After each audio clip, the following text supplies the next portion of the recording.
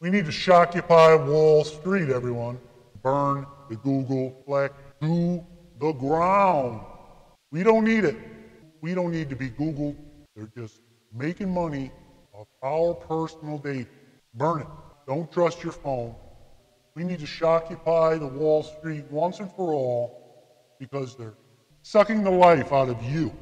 We need to defend ourselves against the corporate control, the fake news, ads distract us people from peace. Because extinction is for me and you too, people. Out in Times Square, people stumbling around. They don't know where they're going, what they're buying, just looking up, looking around. Are we electrified? Flow of information is being controlled. Get a grip on the reality. Get our bikes out. Use our muscles again.